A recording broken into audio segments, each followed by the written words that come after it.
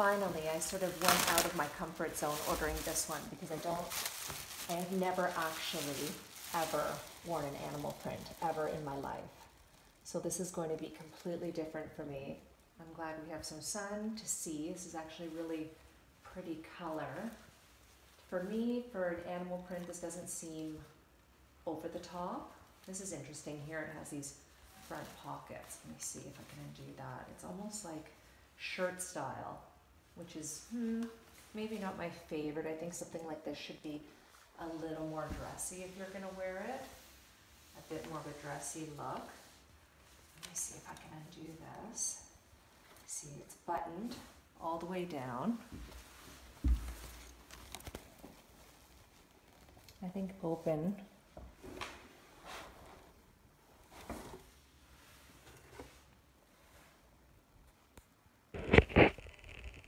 Better way to wear this. Maybe try to, you know, jeans, black pants, a little more casual. I'm not 100% sold on this style of faux fur, a little bit longer, not as soft.